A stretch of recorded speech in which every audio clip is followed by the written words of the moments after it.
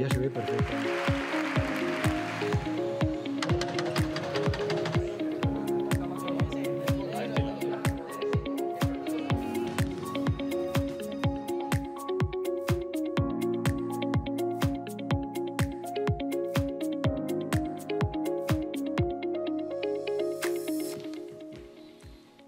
Estamos en este miércoles 13 de marzo, como siempre, encantados de disfrutar de su presencia ahí al otro lado. Gracias, queridos amigos, por ser espectadores fieles, de más que palabras, eh, este rato en el que yo creo que pasamos sobre todo una hora y media muy agradable y en la que tratamos de arrojar luz sobre los asuntos de la actualidad más polémicos, más controvertidos o de mayor presencia informativa. Lo hacemos con buenos amigos, que eso, insisto, cada semana es lo más importante. José María Esteban, bienvenido. Muchas gracias. Te veo con un buen color, extraordinario. Para Sí, los bueno, rigores del tengo tiempo la- que hemos tengo- tenido, ¿eh? Tengo la suerte de, de todos los miércoles, menos cuando vengo aquí muy gratamente, ir a la montaña en Navarra y la verdad es que me lo paso muy bien. Pues como aquí. Lo que pasa es que en la, en la montaña no enredo. Pero esto es un puerto de primera, de segunda categoría, o esto que esto es plácido, un paseo muy plácido, ¿no? No, no, son hotel de, de 16, 17 kilómetros y a lo mejor unos desniveles de 600, 700 Ah, metros. pues ¿eh? eh, que, que sigas, que Oh, sigas, ¿eh? sí, sí, sí. Gracias por acompañarnos. Me lo paso muy bien aquí en la tertulia porque enredo. Enreda. Eh, Pablo Álvarez, bienvenido. ¿Qué tal? Eh, mi enhorabuena, ¿eh? que es la de José María Ah, también, que porque ha venido por aquí y ha dicho, oye, ¿qué periódico está haciendo últimamente esta gente? Bien, ¿no? Eh, sí, sí, la verdad es que mm, no puedo más que hablar muy bien de mis compañeros que están haciendo un esfuerzo tremendo en, en- en- en casos y cosas realmente desagradables y sí, difíciles. Eh, son cosas de las que, bueno, pues como ha pasado esta semana y la anterior, que no es nada agradable eh, informar, porque encima son asuntos muy delicados, con gente que está sufriendo mucho y tal. Y bueno, pues intentamos hacerlo lo mejor posible y yo creo que realmente mis compañeros están haciendo muy bien. Y voy a decir yo una cosa, eh, pudiendo abrazar la tentación del sensacionalismo, porque mm, se ha podido y lo podéis hacer, Mm. eh, se, se- se evita, ¿eh? voluntariamente. Mm, Y eso es, de, es de agradecer. Eso es un riesgo que los- la gente que, como José María, que tiene mucho- muchos kilómetros de redacción, sabe que está siempre ahí, que es una línea muy complicada. Sí, sí. Muy, muy, muy, muy complicada. Lo hemos visto en los últimos días, otros medios o otros compañeros de otros sitios que han ido por cosas- ahí. eh, esta casa no. Hay Esta cosas que no se cuentan. Sí, sí. Es así sencillo. Es todo en algunas cosas. es- al final va, va un poco contra lo- las cosas que te cuentan en la, en la carrera cuando eres un niño, pero es que, eh, sobre todo cuando estás hablando de cosas como, como este chaval o, o desaparecido o, O la- agresiones, o o la violencia sexual de Abelda, sí, hay cosas que no se cuentan. Que no se cuentan. Que el periodismo es noticia responsable. Bien, sí, sí, eso es. Eh, Sofía, bienvenida. Después de esto es como ¿Te has queda visto? mal sonreír. No, pero tú también, que tú también eres parte de esta casa televisiva y periodística, ¿eh? ¿Qué tal estás? Muy bien, muy a gusto. ¿Sí? Siempre contigo, siempre bien. Fantástico, pues que sigamos ¿eh? en estas conversaciones y en estas eh, Cada charlas. vez que me llames. También con Paco. Francisco, bienvenido Paco con... Hola, ¿qué tal? Tienes cosas que contarnos, ¿eh? Depende de lo que preguntes. De- Está muy interesante, está muy interesante. Hay cosas que no se cuentan, como dice Pablo, pero otras Hay sí, cosas que no se cuentan. Otras sí se deben Claro. contar. Eh, empezamos, eso, en página política, pero antes de abordar la situación del PSOE riojano, que está siendo extraordinariamente interesante, vamos con la política nacional. No sé qué os apetece, José María, destacar. ¿Qué crees que es lo sustantivo de las últimas horas?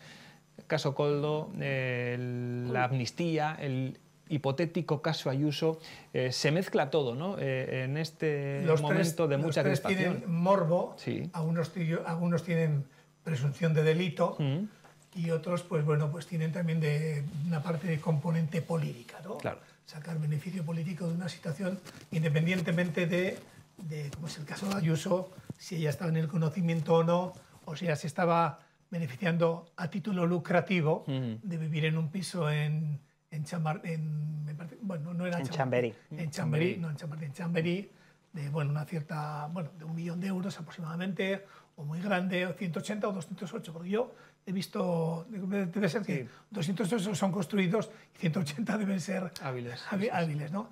Bueno, de los tres son elementos muy importantes.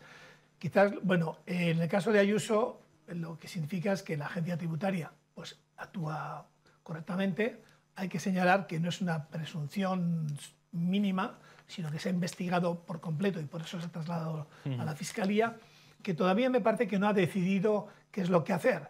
Pero en principio hay que suponer que los, los eh, bueno, no, los funcionarios de la agencia tributaria son muy eficaces y desde luego no se pillan las manos con una cuestión que puede ser analizada políticamente de una manera o de, otra, ¿no? en ese sentido. El caso Coldo, pues ya vemos que tiene unas ramificaciones importantísimas, que está ahora aparentemente salpicando a, todo el mundo, ¿no?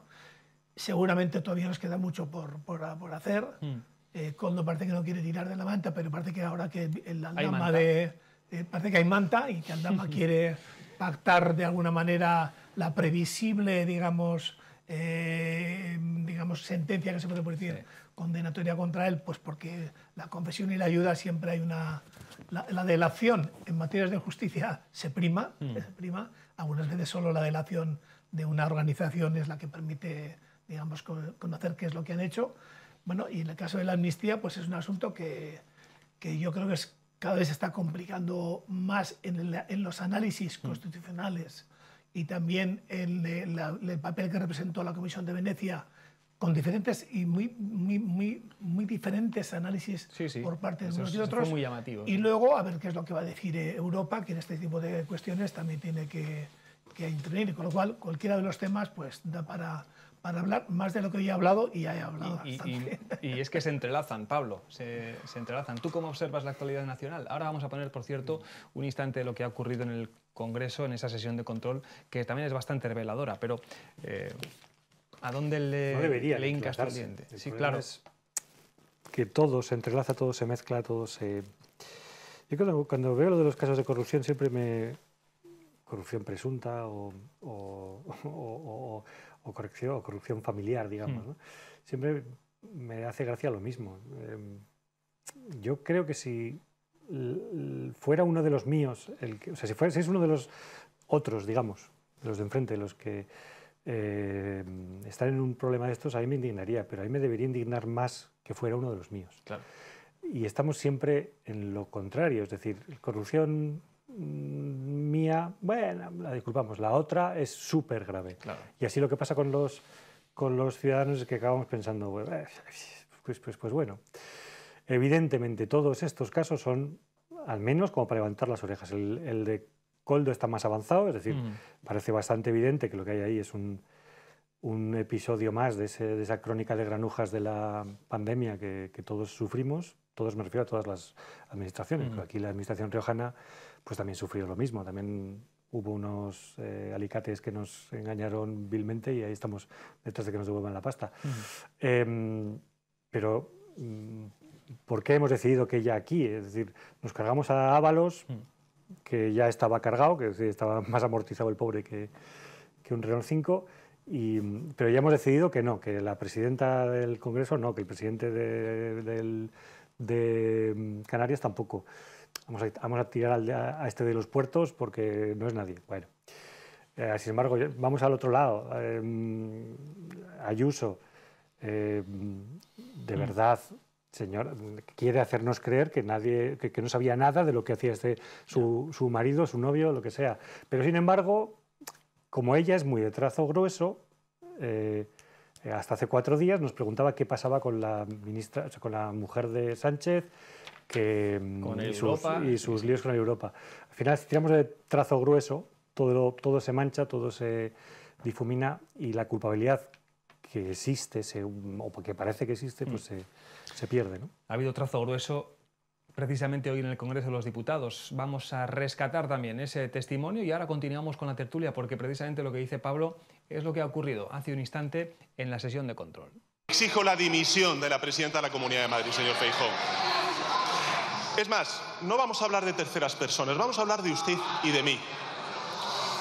Ponga, vamos a poner un ejercicio en marcha, señor Feijó. Vamos a imaginar que yo soy pues alto cargo de, no sé, de una comunidad autónoma, pongamos que de la Junta de Galicia.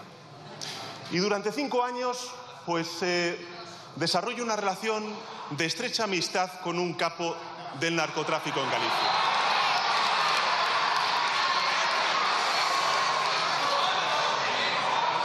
Imagínese que Durante cinco años comparto mesa y mantel, hotel, vacaciones con un capo del narcotráfico, viajo a Canarias, viajo a Ibiza, viajo a Portugal, incluso viajo a Andorra, donde supuestamente este narcotraficante blanqueó 21 millones de los francos franceses de entonces. Usted estaría pidiendo mi dimisión, como es lógico, pero no lo hace porque fue usted, señoría, el que desarrolló esa amistad con un capo del narcotráfico en Galicia. Y esa es la gran diferencia entre usted y yo, señoría. Y usted, con ese historial, ha podido escalar a lo más alto de su partido político y en mi partido político usted no hubiera llegado ni a concejal de pueblo. Sórdidas, fotografías que no se pueden enseñar, armas, tráfico de maletas, decenas de móviles, Ferraris, Lamborghinis, chivatazos, ¿de verdad? ¿No debe ser usted un poco más prudente? Pero no se da cuenta que cuanto más encienda el ventilador, más acredita su desesperación. Señoría, más claro que nada. Se está investigando a su gobierno y se está investigando a usted. Señor Sánchez, le vuelvo a repetir. Tiene usted la palabra. De explicaciones voluntariamente. Usted ha cometido un gravísimo error en esta sesión de control. Allá usted. Seguro que en su casa no están muy contentos con lo que usted acaba de decir. Señoría, allá usted. Usted es el responsable de subir este tono, pero ya le digo una cosa, no le espera una oposición menos implacable sobre la corrupción que la que hizo usted hace cinco años para llegar a la presidencia del gobierno. Señor Sánchez, esta es su trama de corrupción. Señor Feijóo.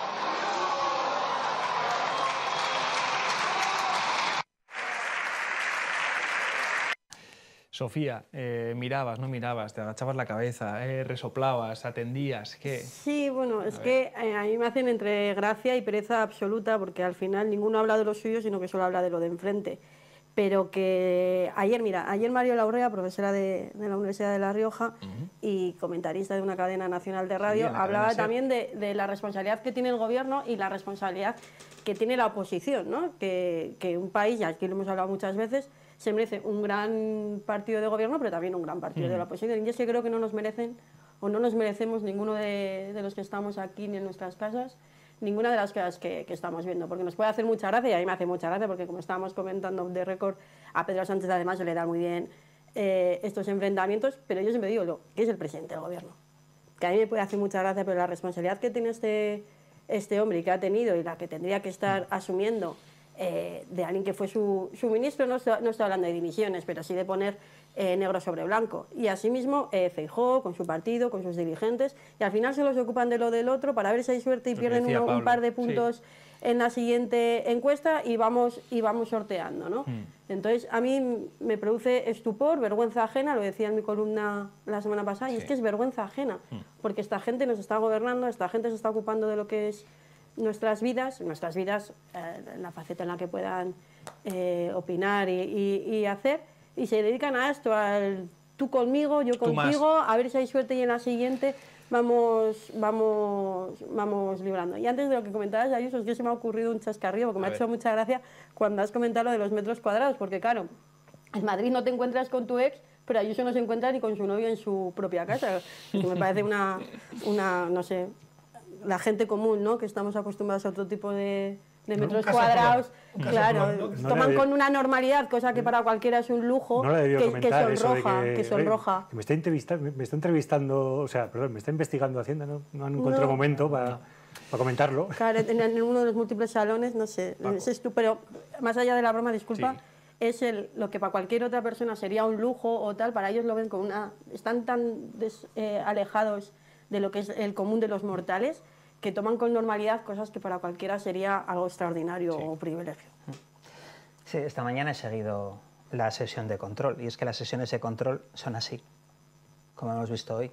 Eh, no es criticar a nadie, pero eh, en política posiblemente si no hay este tipo de declaraciones no lo estaríamos viendo. Porque nunca se suelen transmitir una comisión, un trozo de una comisión normal en la que se están discutiendo artículos concretos de una ley que puede ser muy importante para la ciudadanía, pero eso desgraciadamente pues no es noticia. No, es noticia pues el típico enfrentamiento en el Congreso este día de la semana o en el Parlamento de La Rioja, donde me ha tocado estar, pues casi siempre era más noticia el control que las leyes que se trataban después. ¿no? Eso, evidentemente, eh, es así. No digo de quién es la responsabilidad, ¿no? porque posiblemente los ciudadanos también están mucho más atentos a esto que a otra cosa que igual tiene más importancia en sus vidas. Pero bueno.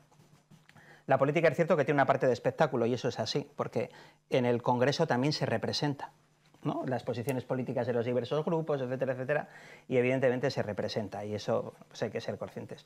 A mí lo que más me preocupa, y en algún momento he dicho de que eh, todos tendríamos que levantar un poco el pie del acelerador, porque si no el descrédito puede ser muy grande, porque lo que decía Pablo y el resto de compañeros, el trazo hueso es así, o sea, hemos oído eso. Si lo que ha salido del novio de Ayuso hubiese sido, no sé ni siquiera si está casado el ministro Puente, no, no tengo mm. ni idea, ¿eh? si está casado o tiene pareja o lo que sea. Si hubiese sido el caso de la mujer del señor Puente, mm. eh, pues imagino lo que hubiese dicho la señora Ayuso. Claro, claro. ¿Cuál es el problema del trazo hueso? Que es responsabilidad de todos, repito. ¿eh? esta mañana también he oído al señor Feijo decir que el señor Sánchez estaba siendo investigado. Y no es verdad. Es que yo creo que además lo del caso Coldo tiene la suficiente entidad para no ir más allá de lo que ya parece ser que hay o de lo que se está investigando. ¿no? Tampoco hay que digamos, tirar por, por elevación. Y yo creo que cuando nos pasamos todos de frenada, pues ocurre que a veces una cosa que puede ser seria ya, como decía Sofía, a veces casi puede parecer graciosa. ¿no? Es decir, ese es el problema. Yo creo que hay que tratar las cosas en justa medida. Yo creo que ayer eh, la señora Ayuso se equivocó con las explicaciones que dio. ¿no? ¿Tú crees que se equivocó? Sí. Incluso para los suyos. Bueno, eso yo, no lo sé. Claro, es que como funcionan, o creo que funcionan, para los míos y para los tuyos. Yo, como no hablo en nombre del pueblo, hablo simplemente mi opinión, ¿no? De decir, creo que se equivocó.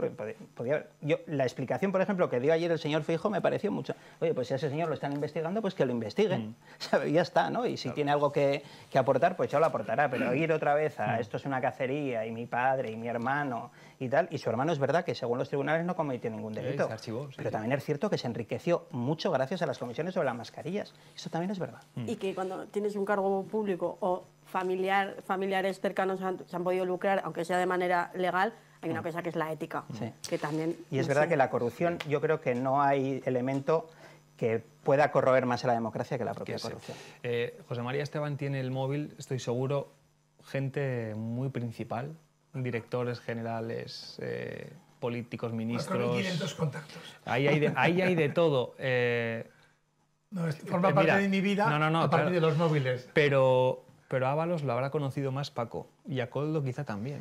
¿Qué nos cuentas de Bueno, yo he conocido a Ábalos. Lo que se pueda, ¿eh? como hemos dicho aquí, hay cosas que, no se pueden y otras que Ábalos era el secretario de organización de mi partido, claro, y lo conocí mucho antes de que fuera secretario de organización. Ahora es cuando José María dice, no, y sí, yo también. No, en este caso, en este caso a Coldo, vale, vale. A, Coldo, pues eh, no lo conocía, siempre venía con Ábalos, o sea, yo no lo conocí eh, hasta ese momento. Y yo eh, no sé dónde fue exactamente, donde recordé que yo lo vi en Arnedo siendo conductor de, de, Ábalos. ¿no? También es cierto que a todos nos sorprendía un poco el, el nivel que había alcanzado una persona que todos sabíamos que no poseía ninguna formación, ¿no? La altura que había alcanzado en el escalafón ministerial, ¿no? porque a veces un jefe de gabinete o un miembro de gabinete puede tener más ascendencia sobre otros que un secretario de Estado, que nadie sabe cómo se llama. Claro. Exactamente. Eso sí que parecía sorprendente. Ya todo lo que hemos sabido ahora, pues evidentemente, como te puedes imaginar, pues no teníamos ni idea, claro. Eh, ¿Alguna reflexión más sobre la política nacional antes de meternos con el peso, meternos, de abordar al peso de Riojano. ¿eh? Yo creo que el caso Coldo va a seguir salpicando mucho porque las, las redes estas no son lineales. ¿eh? No, no, claro. No es eh, uno, uno, que depende del otro, que la apoya y, y se, es una especie de interrelación mutua. Ahí va, va, a salir mucho, mucho, mucho, porque para tejer redes de ese, de ese tipo y sobre todo la, la, astucia que algunas veces los, los delincuentes tienen eh, para escamotear sus acciones llevan a unas ramificaciones que te terminan salpicando de una manera brutal. Eh, sorprende, por ejemplo, que haya habido nombres del Partido Socialista que hayan, hayan, formado parte de las conversaciones. Bueno, yo, eh, si, yo, si, si hiciéramos una, un guion de una mala película, cuando sabemos que nos están investigando, pues yo digo, pues el otro día estuve hablando con Paco con Claro. ¿eh?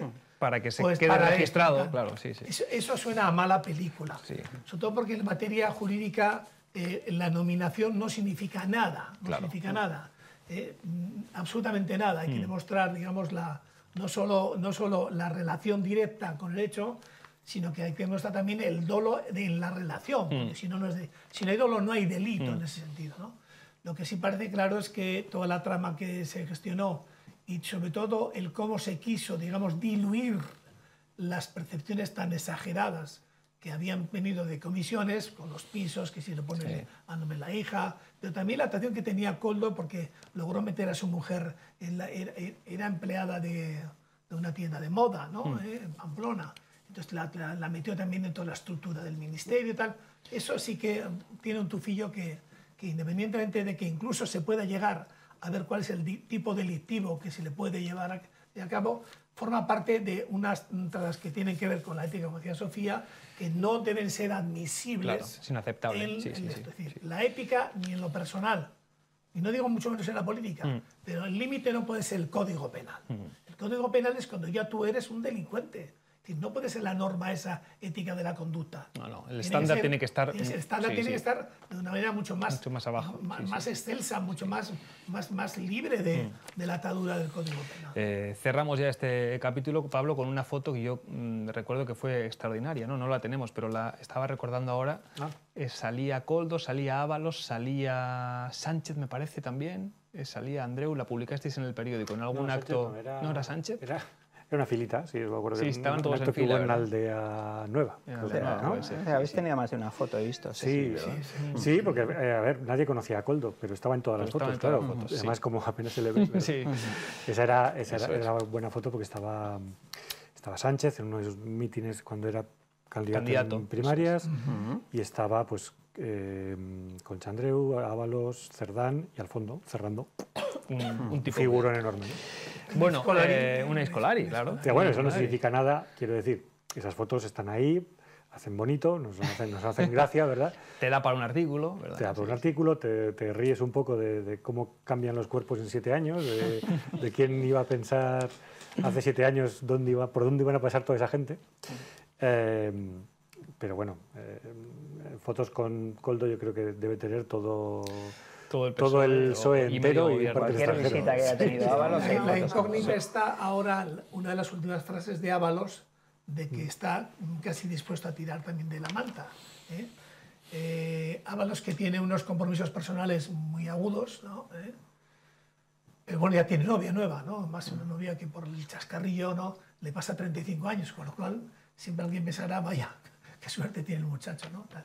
Pero Ábalos eh, quizás tiene un peligro porque ya no se le puede recuperar para nada, prácticamente, para nada. Con lo cual ahora... Y es un voto también, ¿eh? También se, bueno, es un voto. Y, Eh, en esta tesitura... al programa Sí, electoral del Pero en, el- en el- en la tesitura a- actual, digamos, la, el tirar de la manta significa mm, acrecentar nunca hacia abajo, sino siempre hacia arriba. Con lo cual, Sofía. no sé si es una amenaza simple o por el contrario tiene un fundamento. Ya, Habrá que estar expectantes. Sí, sí. Sí, iba a decir otra cosa, pero ahora que he dicho lo de que se debe al programa electoral del PSOE, claro, como Pedro Sánchez cambia tanto de opinión, claro, igual ir a favor del programa electoral del PSOE es votar en contra de lo que proponga actual, el Grupo claro. Parlamentario Socialista. Pero iba a decir otra cosa, que yo aunque sea muy pesimista aquí siempre que hablo de, sobre todo de política nacional, aunque en regional se puede hacer similitudes, yo confío en que llegue el día en que alguno de los grandes partidos dé un golpe encima de la mesa y paren ya esta rueda de, de escupirse mutuamente Sí. y que pongan a alguien de serenidad, aunque eso suponga perder unas elecciones porque será bueno para la democracia y para, y para toda la ciudadanía. Esa, esa es una... Confío poco, pero bueno, yo mantengo la, No es parece- una buena mantengo la esperanza. pero no, No parece que esté de llover, ¿eh? No, no, no tiene No pinta. Igual viene algún profeta o algo y nos hace ver la No tiene pinta. Bueno, ya hubo eh, aquello que nació en el 15M, los que venían a regenerar, Justamente no lo pondría de ejemplo. a pero... regenerar la política y nosotros no somos como la casta y esto hay que darle la vuelta y, y ya Le hemos- dieron la vuelta al calcetín varias veces. Sí, además. varias. Eh, lo que ocurre en la página política regional, Pablo, no tiene tanto que ver con el Ejecutivo, que eh, sigue su camino en la legislatura, con más o menos aciertos, con más o menos polémicas, Sí. pero los- lo interesante eh, ha ocurrido en los últimos días en el Partido Socialista. ¿Cómo nos lo explicas? Para los que ahora estén al otro lado diciendo, ah, sí, el grupo socialista en Logroño, la agrupación, Pablo Hermoso, Concha Andreu... A ver, yo explico primero los hechos, Los según, hechos, se han, según se han conocido y luego ya, mm, pues la opinión es más libre de todo esto. De acuerdo.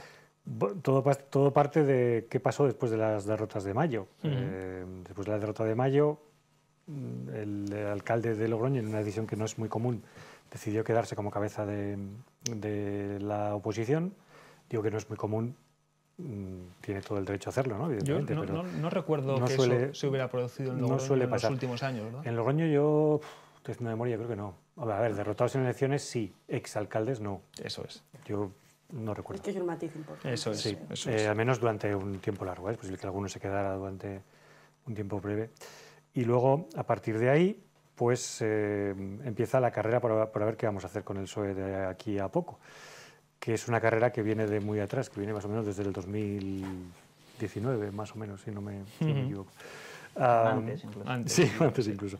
Eh, simplemente la actual secretaria, o la todavía secretaria general, le pide a Pablo Hermoso, que nunca ha sido uno de sus hombres de confianza, que dé un paso atrás para dejar paso a, um, se supone que María Marrodán, que sí que es una de sus personas de confianza.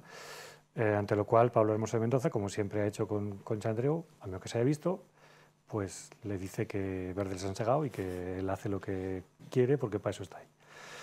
Y bueno, pues el sábado hay comité local que parece que controla, parece que controla Hermoso de Mendoza, veremos. Y, y ahí veremos lo que pasa. Eh, ¿qué- ¿De dónde viene todo esto? Pues A viene ver. de la guerra que le partió el PSOE casi por la mitad, eh, cuando este caballero que aquí nos, nos, eh, acompaña era secretario general, y mm, que de la que tanto hemos hablado y no creo que haga falta recordar la verdad. Eh, y ahora, pues bueno, pues eh, el PSOE anda buscando todavía una estabilidad que no encuentra Claro. eh, y que es muy difícil de encontrar en la derrota. En la oposición. El PP ha encontrado una estabilidad mm, es- excepcional que parece que nunca ha pasado nada, básicamente porque ha ganado las elecciones. Llega a no ganar las elecciones de mayo y ahora mismo en el PP correría la sangre por, sí, sí, por, sí, por la Avenida de. Portugal. Pero Ay. en esas estamos, ¿no? Ayer estuvimos con Pablo Hermoso de Mendoza ¿eh? y naturalmente eh, hubo que preguntarle sobre esta circunstancia y eh, se pronunció. Primero dijo que estas cosas no interesan a los logroñeses, que hay que andar en otros asuntos, que la ciudad. Pero insistimos y obtuvimos esta respuesta. Parece ser que el comité local se reunirá el sábado y bueno y también eh, bueno pues irá tomando sus decisiones y, y, bueno y actuando de la, de la manera mm, bueno que mejor considere. Eh, soy respetuoso con el bueno los eh, los cauces, los instrumentos, los órganos que el Partido Socialista tiene para eh, llevar a cabo bueno pues eh, los procesos de que, que considere más adecuado. Eh, es un partido de 144 años, columna vertebral de este país, de esta región, de esta ciudad. Sabe encontrar las maneras y los caminos para hacer las cosas de la mejor manera posible y yo voy a ser respetuoso con todo ese proceso que está en marcha y por lo tanto no tengo nada más que decir. Paco y José María tienen información seguro, muy interesante, y Sofía también, porque conoce cómo son eh, los partidos orgánicamente por dentro, y, y- y esto está muy interesante. Paco, primera pregunta, que es una curiosidad personal, cuando decía Pablo, durante otras temporadas hablábamos aquí del PSOE, de capítulos las- eh, anteriores. en capítulos anteriores, tú estabas ahí al otro lado y veías las tertulias y... y- Sí, sí, sí, sí, sí, O sea claro, que hombre. puede ser que hoy haya también ahí al otro lado... Con toda seguridad. Sí, Sí, hombre, claro que sí. pues, Pues eh, un saludito, ¿no? Para tus Sí, compañeros. claro que sí, a todos, para todos, para Que todos. nos estarán viendo. Nos estarán viendo. Eh, ¿Qué nos puedes explicar de estos movimientos que, has- que ha eh, colocado muy bien sobre el tablero Pablo de una manera puramente informativa, objetiva? Es- explicar, no puedo explicar nada. puedo dar mi opinión, ¿no? Venga. Como, como, ha dicho, eh, como ha dicho Pablo. Yo creo que pues es otro error más que cometió la secretaria general del partido. Porque la Ejecutiva Regional no tiene la competencia de quitar y poner candidatos, o sea, portavoces municipales. ¿no? Es cuestión orgánicamente, estatutariamente, de los comités locales, ¿no? de las comisiones ejecutivas municipales, que es como se llaman, como se llaman en, en mi partido. Eso, ¿no? eh, para empezar, llama un poco la atención. No es un- una No, no. cuestión de la Secretaría General, ¿no? Las- no, no. La Comisión Ejecutiva Regional propone al portavoz, Vale. al portavoz autonómico, ya está el portavoz en el Parlamento ¿no? de, de La Rioja. Y, y el portavoz propuesto por Conchandreu fue Javier García en- hace, hace unos meses. Javier García es el portavoz, porque así lo, lo mandató la Ejecutiva Regional. Como han hecho todas las anteriores. Pero en los grupos municipales son las propias Las ejecutivas, las, ejecu- Vale, vale. las ejecutivas locales, las comisiones ejecutivas municipales. Eh, primero es el error de esa conversación, hasta donde yo sé, sin tenerlo hablado en absoluto con la comisión ejecutiva municipal. Eh, y el segundo error, además, yo creo que todavía más grave, es filtrarlo. ¿no? Como, hicieron, como se hizo, ¿no? Filtrar que esa conversación eh, se había producido. Yo creo que cualquiera que sepa un poco cómo funcionan los medios de comunicación en Logroño en esta comunidad autónoma eh, sabe perfectamente de dónde surgió esa filtración solo viendo los medios a los que fue a parar la filtración. ¿no? A mí, como me ha tocado estar ahí y conocerlo también un poco por dentro, pues vosotros lo conocéis mejor, evidentemente, pero no, no hay que ser muy espabilado para darse cuenta de dónde surge esa filtración. Eh, yo no termino de ver el interés, porque creo que al final es un boomerang que se vuelve en contra de quien, de quien ha tomado esa decisión. Eh, gente en esta dirección conoce la historia de este partido muy bien y, y sabe que este partido tuvo un lío muy gordo hace 12 años precisamente por un cambio de la portavocía del Grupo Socialista de Logroño. ¿no? En aquel caso era el portavoz, recuerdo bien, porque yo ya estaba en la Ejecutiva Regional, era el secretario de Organización, en ese caso Vicente Urquía, y la Ejecutiva local, sin el consenso del Grupo Municipal, pues impuso a otro portavoz. En ese momento fue Concha Rivas. Y eso generó un cisma impresionante de funcionamiento en el Grupo Municipal que terminó en una gestora. En la, agrupación, en la agrupación de Logroño, con la apertura de expedientes de expulsión, en ese caso a, a cuatro con- concejales. Consecuencias que se mantienen. Vale. Así que yo lo que espero, Mm. lo que espero es que eh, se traten las cosas con cierta templanza y cierta inteligencia y, y que no se vuelvan a cometer errores del pasado. La ejecutiva local es competente para poner el portavoz municipal, fin. Ahora bien, es absolutamente competente. Pero si tú impones a un portavoz sin un mínimo consenso dentro del grupo, pues las cosas no pueden salir bien. Así que espero que esta vez, después de este error inicial de la Secretaría General, eh, la Ejecutiva Municipal mm, de Logroño, que eso no, no creo que controle en absoluto Pablo Hermoso de Mendoza, eh, para nada, o sea, no creo que tengan nada, nada que ver, eh, pues que haga, y hable con los concejales y, eh, cuando, llegue el, mo- cuando llegue el momento, porque sí quiero decir una cosa que se A ha ver. dicho, es cierto que no es muy habitual que alguien se quede, ¿no? Recuerdo que lo hizo, por ejemplo, Guillermo Fernández Vara, cuando perdió las elecciones del 11, ¿no? Se quedó liderando la oposición en el Parlamento de Extremadura. Eh, y volvió a ser presidente después. Yo no digo que no tenga sentido político lo que, que Pablo se vaya o deje de serlo o se de- haga otra portavocía. Lo que no se encardina bien es que eh, no se haya asumido ninguna responsabilidad política por parte de mi partido eh, a nivel autonómico. Eh, la secretaria general no lo haya asumido, ahora sea, digamos, senadora, o otros casos de portavoces municipales, como es el caso de Calahorra, sea diputada en Cortes Generales también. ¿no? Eh, esa trayectoria de no cambiar de grupos municipales o de portavoces más que en Logroño. Porque se sucedieron luego las elecciones. eh, Correcto, sí, sí. Y después de una derrota electoral. y- hay gente que tuvo enormes derrotas electorales en autonómicas y municipales, ocupó los puestos a elecciones generales. Dentro de ese contexto, que es el que planteó la Ejecutiva Regional, muy libre para hacerlo, Mm. pero es el que planteó, no encaja este, ahora este asunto. Pues tenemos que hacer Desde una pausa. José María, guarda ahí en pause eh, el mensaje y la reflexión porque está muy interesante. ¿eh? No y se va- me olvidan las cosas. No, no, no, toma nota, toma nota, Sofía, que regresamos de inmediato porque el programa no se detiene. Es un lujo cada miércoles y hoy también. Hasta ahora.